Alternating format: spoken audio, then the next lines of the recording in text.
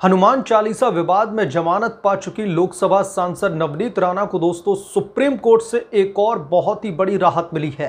Supreme court ने आज ये कहा है कि वो जुलाई में लोकसभा सांसद नवनीत कौर राणा की उस अपील पर सुनवाई करेंगी, जिसमें बॉम्बे हाई कोर्ट के जाति प्रमाण पत्र को रद्द करने के फैसले को चुनौती दी गई थी।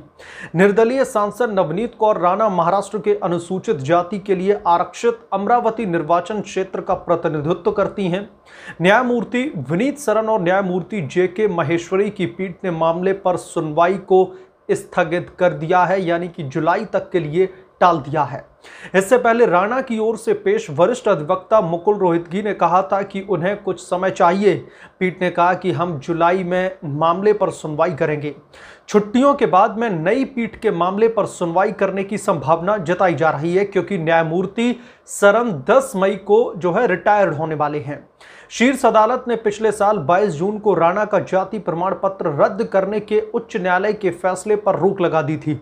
बॉम्बे हाईकोर्ट ने कहा था कि जाली दस्तावेजों का इस्तेमाल कर फर्जी तरीके से जाति प्रमाण पत्र हासिल किया गया है। अदालत ने राणा पर दो लाख रुपए का जुर्माना भी लगाया था। राणा ने 2019 में अमरावती से चुनाव जीता था। उन्होंने अपने हलफनामे में दावा किया था कि वो मोची जाति से नाता रखती हैं।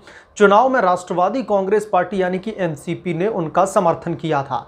तो एक और बड़ी राहत मिल रही है उन्हें। सुप्रीम कोर्ट की तरफ़ से यह फैसला लिया गया है कि जुलाई तक उनकी ये जाति वाला जो आ, मसला है जो विवाद लगातार उस पर बना हुआ है अब उसकी सुनवाई जुलाई में जो है की जाएगी।